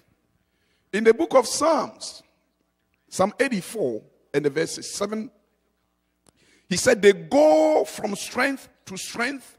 Every one of them in Zion appeared before God. Hallelujah. They go from strength to strength. They go from strength to strength. Every one of them in Zion appeared before the Lord. So as you will go in, as you will, you will be going from strength to strength, there is an assurance that one day you will definitely make it before the presence of the living God with our Lord Jesus Christ at the right hand of the Father. How? In Second Corinthians chapter 3 and the verses 18, he said, We all with open face, beholding as in a glass the glory of the Lord, are changed into the same image from glory to glory, even as by the Spirit of the living God. So you don't have to do much. All that you have to do is to make sure that you look unto the glory of the Lord. Looking unto Jesus as the author and the finisher of your faith automatically there is something that comes out of the presence of the living God and it will hit you. And as you receive the radiant glory of the Lord, you cannot be the same. It is impossible. You are gradually going to be changed. So the mindset is extremely important. Where you find yourself, it's very important. You have to make sure that what you are looking onto, it is not anything else but the glory of the living God. The glory of our Lord Jesus Christ. He said, If only you can look unto that glory, there is no doubt transformation is going to come into your life. And gradually you are going to be changed. Say, we are changed to the same image. The image that you are seeing, the Jesus that you see. You are also going to be changed from glory to glory. Not by you, but by the Spirit of the living God. It comes with power. That is how we grow from strength to strength. As we keep looking higher level, the Lord is just bringing forth. Uh, do you know that God's glory is not something that is fixed? Uh-huh. The Lord, he's, He said He takes us from one degree of glory to another. From one degree of glory to another. So as you are looking unto Him, every time something new is being projected into your life, and gradually you are seeing that change. So Apostle Paul in Ephesians 6:10, he said that, he said, finally, my brethren, be strong in the Lord and in the power of his might. The change is not without power. Because he said that the change to be at the same image as Christ, it is brought forth by the power of the Spirit. He said, even by the Spirit of the Lord. So it is the power of God that is going to bring forth that transformation in our lives. Anyone that wants to keep your life stagnant, it is impossible as you keep looking unto Jesus. Someone told me, I said, Don't worry about your enemies. You worry about looking unto Jesus. And let Christ deal with them. They are too many. You don't know where they are. The, the dangerous ones are the ones that you don't even know. The ones that you are seeing them as loved ones, friends. But they are your enemies. The time is not yet to find out. So by the time that you are focused on the wrong direction, the Lord said, Don't focus on those directions. You focus on me. And let me deal with everyone around you. This is it. That's the way. So we move from strength to strength by fixing our eyes onto Jesus as the author and the finisher of our faith. To God alone be the glory. We are talking about spiritual power here. We are talking about spiritual power. Not just carnal Christians. We come to church and we are living, and then at the moment that we are facing problems, we behave like any ordinary person, like an unbeliever. But our lives are not the same. We used to be there in the world, but we have been translated into the kingdom of light by power. By power. So we dwell in that power and we, we continue running our lives in that power in that power. We don't act the same way when we are going through problems as they do. That is the reason why what kills them when it comes on you, it's only going to strengthen you because it is meant to promote you to another level. In only one condition that you tap into the power, the source where you are, you stand as a Christian and apply the principles as a Christian, then you will see the change. It's a matter of time, but definitely the change will come. Don't be distracted because it is coming from you looking onto that Jesus, beholding him as in a glass. Beholding him as in a glass. You see, the point is this, right? You know, as you are looking into a glass, it is your own image that is being projected from that glass. But in this case, it is the image of Christ that you see. Such a wonderful thing. It is the image of Christ, Jesus Christ, that you see. And you cannot see Jesus and remain the same.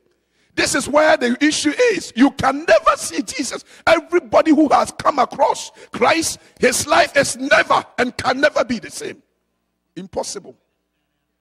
Impossible. You can't have encounter with God and remain the same. You were harassing my life, but now I have seen Jesus. It is over. You meant to kill me, but now I have seen Jesus. You cannot kill me anymore. So we said we are talking about spiritual power. Then what is spiritual power? Spiritual power, it is the ability to overcome any negative power that is working against you. It is the ability to exercise dominion, spiritual power. When we say we have power, power surpasses power. Don't think that they do not have power. The one that is coming to hurt you is coming in power because he knows that you go to church. But he wants to know how much do you take your church serious? How do you stand as a Christian? But if you are living a life of dominion, they will come and face power. But if you are just a carnal Christian that is, uh, you know, moving around and doing your own thing for people to know that you come to church, they will get you. They will get you because when they come, they are coming with power, but they come and there is no confrontation. There is no confrontation. You come to church, you hold no power. But that is not, he said, therefore, if anyone is in Christ, he's a new creature. All things they are passed away. Behold, everything has become new. In other words, what they used to know of you, you are no more the same person. You are no more. And you have to testify of yourself that you are no more the same. Before they could toss you around on the bed and you know all kinds of noisy dream, throwing in banana on you and all kinds of things. But the situation has been changed. Now, when you are sleeping, an angel of the living God is on your back, it's just by your side. They will come and they will come to find out that the room is full of light. That they are of the darkness, they cannot mingle with light. And they, they are leaving you alone. It's not like they didn't come, they came, but they could not perform. This is what we are talking about here. He said, Now, Romans 8 1, he said, Now there is no condemnation in them that are in Christ Jesus. You see that? There is no condemnation. but, uh, uh, so in other words, you would just say that, uh, you, you, know, what you used to be, and uh, I used to be. No, no, you said you used to be that. Christ is not seeing you that way anymore. And I said this, but don't stop just right here. He said, Therefore, there is no condemnation in them that are in Christ Jesus, who walk not after the flesh, but after the spirit. You see that? So, in other words, you can be walking in Christ with condemnation because your deeds are carnal. You are walking by the flesh, and the flesh is the people of the world. You just name it. Anything that the enemy is throwing out there, it is all the works of the flesh. But we are not called unto the works of the flesh. We are called to bring forth fruits and spiritual fruits. Spiritual fruit. So let them come. They used to know you. You are now in Christ. They come, they are expecting to see you as they used to know you. But you are no more the same because your status has been changed. Your master has been changed. Where your expectations are, it has been changed. What you look, the one that you are expecting from Jesus Christ, it has been changed. You are not, you, you know, to expect anything from the world anymore. You are not my provider. Therefore, you cannot be the decision maker of my life. Thank you, my Lord. It comes with that power. This power is not something that you'll be moving around and say that now I'm a child of God. Uh, I have power. It is not about what you say, it is about who you are. You know, Romans 6 14, he talks about, he says, Sin shall not have dominion over you because you are not under the law, you are under grace. So a child of grace is a child of power. Sin shall not have dominion over you. We said that spiritual power is when you can exercise dominion over any power that confronts you. So, whatever that is coming, it is inferior to your power. But if you are moving around entertaining sin in your life and telling yourself that I'm a church goer, I'm a child of God. I go to church. And you are even boasting of your church. It is not about that because you do know that you are not right standing and the enemy will get you. The only way that the enemy will rule over you is when you are entertaining sin. Because he says, Sin shall not have dominion over you. Sin shall not. But this is what the Lord said. But if you make yourself available for sin, sin will definitely have dominion over you. But if you are now understanding that the one that you are looking on to be holding him in that glass, his glory. You are chained to the same image. You are chained to that power. Jesus, he is the source of power, custodian of power. There is no power but it's of God. That is him. Say all things consist in Christ. This is what we are talking about here. So it is not about them and be focusing, oh, and this one, that what my enemies are going to do, and what my enemies are going to do. What is that that your enemies are going to do? You focus on Christ and be thinking of what Christ is going to do to your enemies. It changes everything. Not by your power, but by the Spirit of Almighty God. By the Spirit of God. There is a scripture here in Second Corinthians chapter 4 and the verses 1 to 2. He said, Therefore, seeing we have this ministry, as we have received mercy, we faint not, but have renounced the hidden things of dishonesty. I love this. You see, the word ministry here, don't see it as just a church type of work only. We are talking about life. You are here because God puts you here in life. So he said that we have received mercy, forgiveness of God because we have been cleansed. Adamic nature is not holding nobody. Whatever that you did in your life before coming to Christ, Christ had already wiped it out. It is now your responsibility to, to live a new life and bring forth a new man on a higher level that he may take absolute control over the, the, the, the, the man, as you know, that is the flesh. So he said that in order for you to recognize that indeed you are moving from strength to strength, you have to renounce the hidden things of dishonesty. You can't deceive no one. You cannot deceive no one. Because the point is this when you come and you lie to somebody about your state, what is it that is going to do to the person? You, uh, okay, you told the person a lie, but you are the one that is suffering. You are the one that is suffering. So the Lord said that you're going to have to look into your own life and renounce the dishonesty. Any area of your life that is not pleasing God, you know that it is against the word of the living God. You are moving around, you know, showing people who you are not telling them who you are not. What benefit it is for them. They have graded you so high, but within yourself, you know that you are not there. And you are the only one. Now, because of that, every time that you are going to say something, eh, you look around to see if uh, one of those people that you talk to, you lie to, is not there. You are not yourself, disturbed. You can't reason well. You are moving around always looking, looking back. You are not yourself. Moving from strength to strength, in it hidden thing, the hidden things of dishonesty, we renounce them and not walking in craftiness. That is what we just said.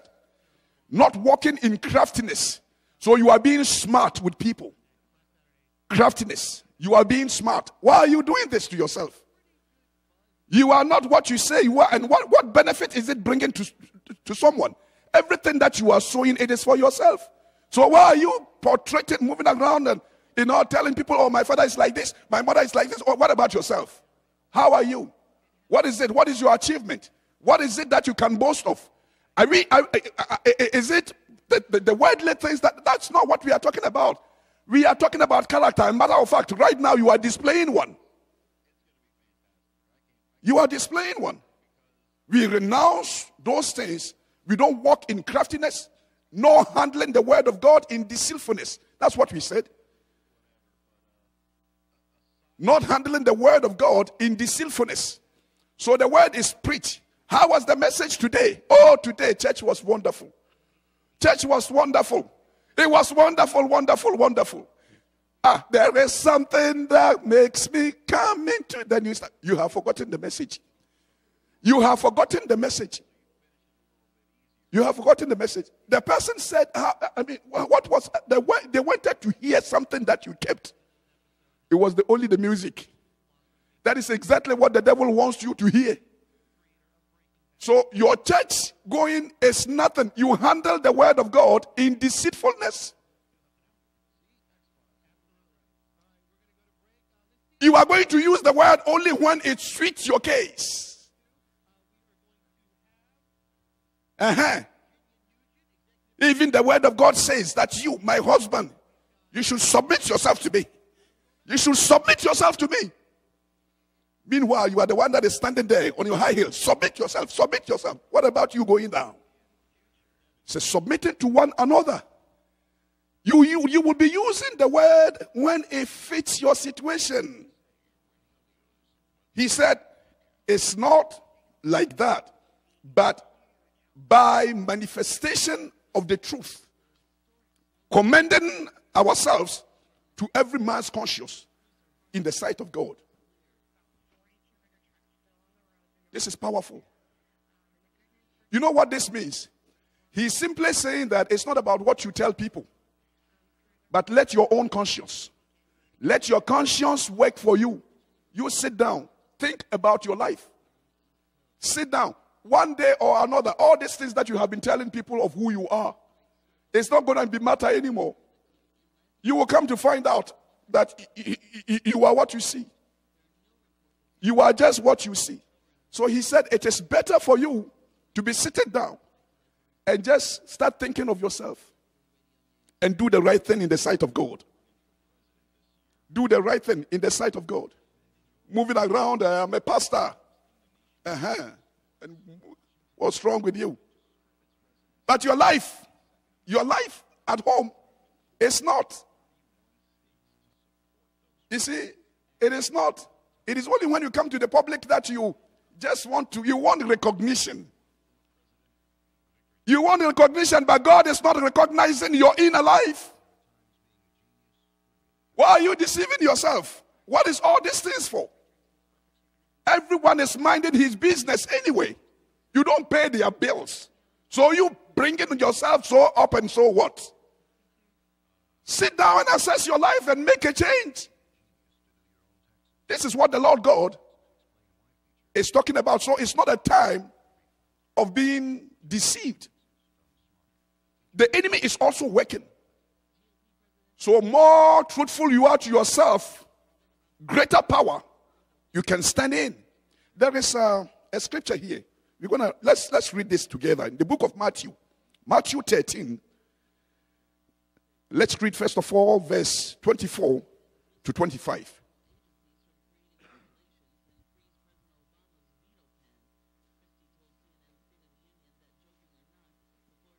My question here is Are you sleeping?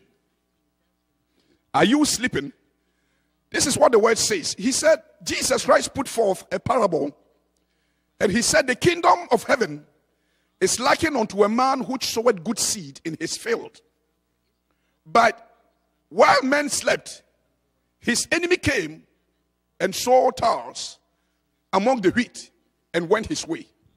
Hallelujah. This is so powerful. A good man thinking of life and being focused. He wasn't sleeping. He wanted to live. And he was living his life. So he went and sowed good seed.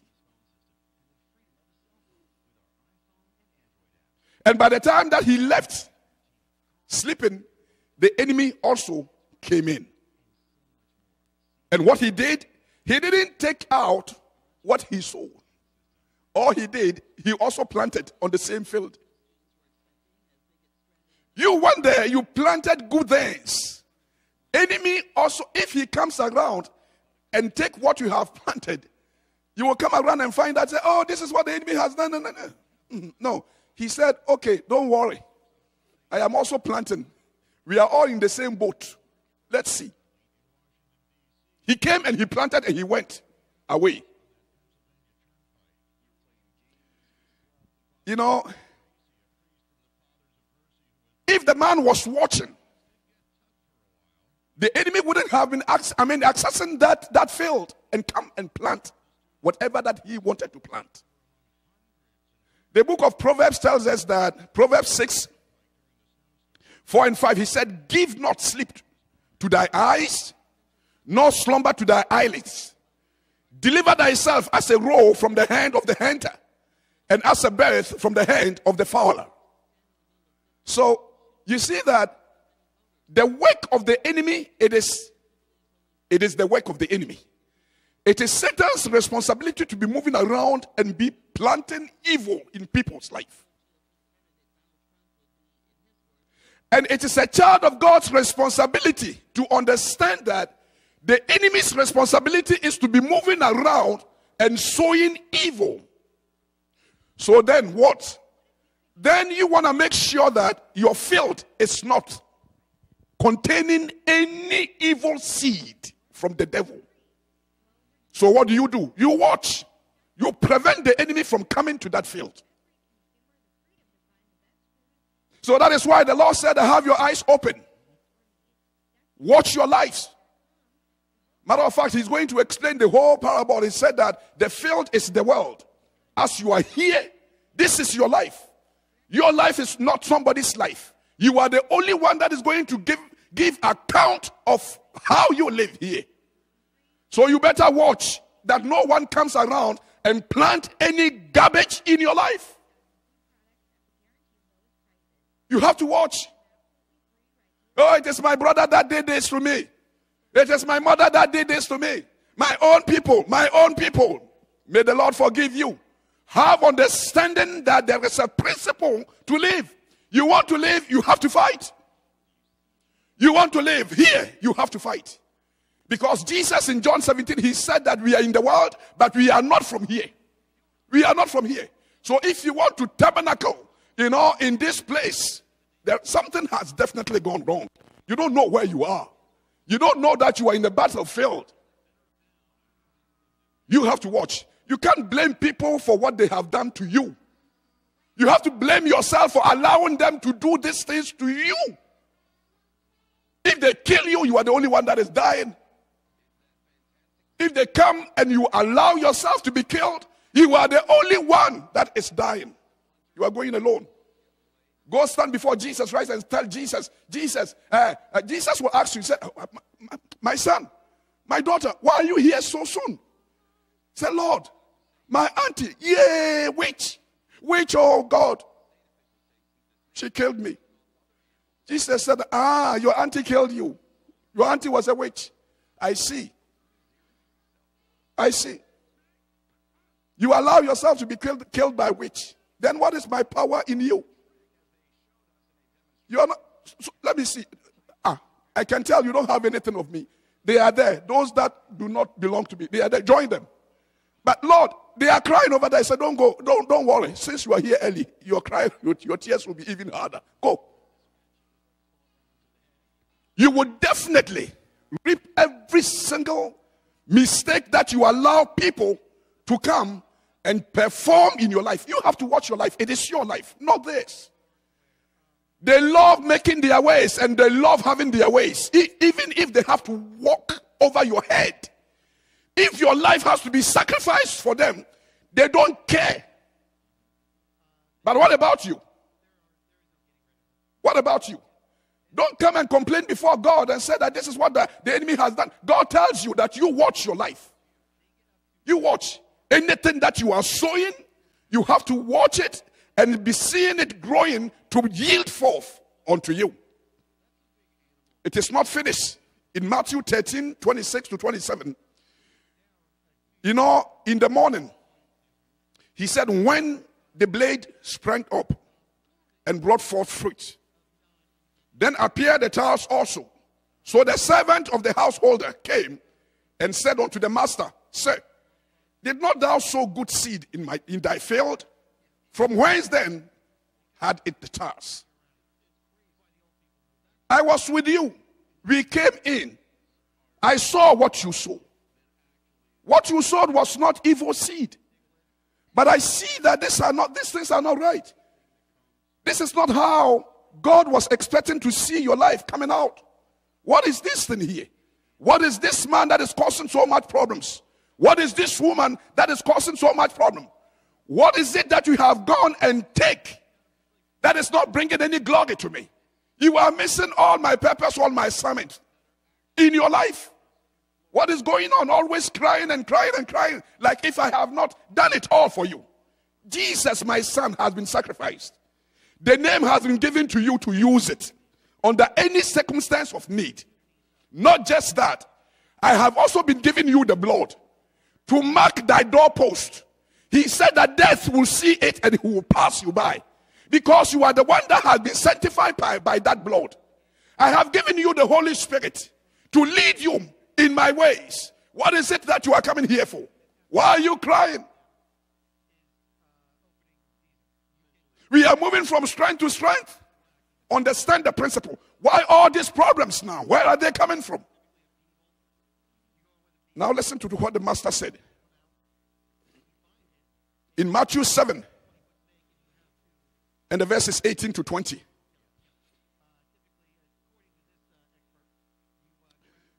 You know, Matthew 7 18 to 20 is just, you know, if you sow, we are expecting uh, according to what we have sown.